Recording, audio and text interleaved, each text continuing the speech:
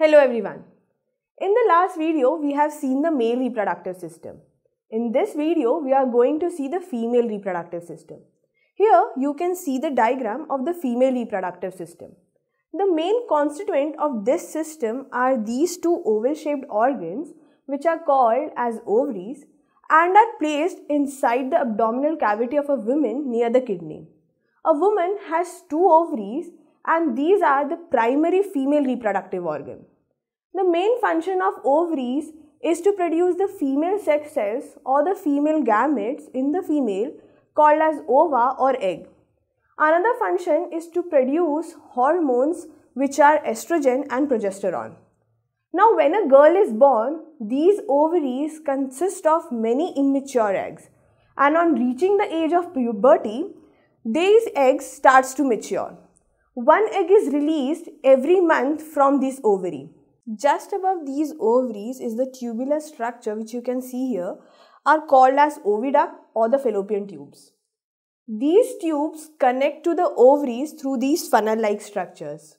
The main function of the fallopian tube is to carry the egg. Now you can see here that these fallopian tubes are opening into a bag-like structure. This is the uterus. The growth and the development of the fertilized egg or the zygote takes place here only. The uterus opens into a narrow passage which is called as cervix to another tube which is called as vagina. Now the vagina is also called as the birth canal as it is through this passage only that the baby is born.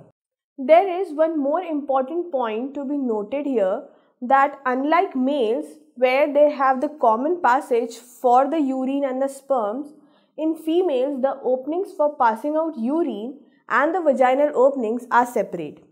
Now we have understood the male reproductive system and the female reproductive system. So let's understand the reproduction process. In the last video, we have seen how the sperms were produced and are carried in the male body. In the first step of reproduction, the vagina from the female reproductive system receives the sperms from the male through the penis during the process of intercourse or mating. At a time, millions of sperms are released in the vagina which are highly mobile and move very fast. Once released, these sperms are carried through the cervix and from there they enter into the uterus. From the uterus, they enter into the fallopian tube. Like you can see here how these sperms are carried through the oviduct. The egg released by the ovary is present in the oviduct. The egg is released by the ovary during the process of ovulation. Now the sperms are highly mobile and active which are moving through the oviduct encounter the egg and tries to fuse with it. It's like millions of sperms are racing with each other and only one sperm comes out as a winner, fuses with the egg and forms the zygote. So this is how fertilization takes place. One important thing to note here is that the fertilization takes place in the oviduct. After fertilization, the zygote is formed. Now this zygote moves down into the uterus where it implants in the inner lining of the uterus and divides multiple times by the process of mitosis.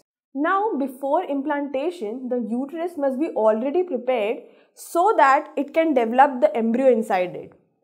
The interesting thing is that the mother's body is already designed to undertake the development of a child and hence the uterus prepares itself every month to receive and nurture the growing embryo. The inner lining of the uterus thickens and is richly supplied with blood vessels so that it can nourish the growing embryo. After implantation of the zygote, a dish-shaped special tissue called placenta develops between the uterus wall and the embryo. The embryo gets all its nutrition from the mother's body through this placenta only. On the embryo side, the placenta has villi and on the mother's side, it contains the blood spaces. Villi contains the blood vessels and is surrounded by the blood spaces and in these blood spaces, blood flows through which glucose and oxygen is passed to the developing baby from the mother. The waste material from the developing baby is removed with the help of this placenta. It takes 9 months for an embryo to develop into a child. When the muscles of the uterus starts to contract rhythmically, the process of birth begins. This contraction of muscles of the uterus rhythmically pushes out the baby from the mother's body through the vagina. So we have seen the reproduction process. See you in the next video.